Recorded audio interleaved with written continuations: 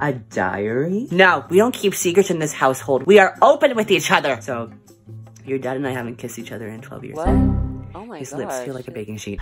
Where did you get this sweater? Forever 21? I wish I was forever 38. Sweetheart, that's the day my book became a New York Times bestseller. Well, all books become New York Times bestsellers. It was just a matter of when.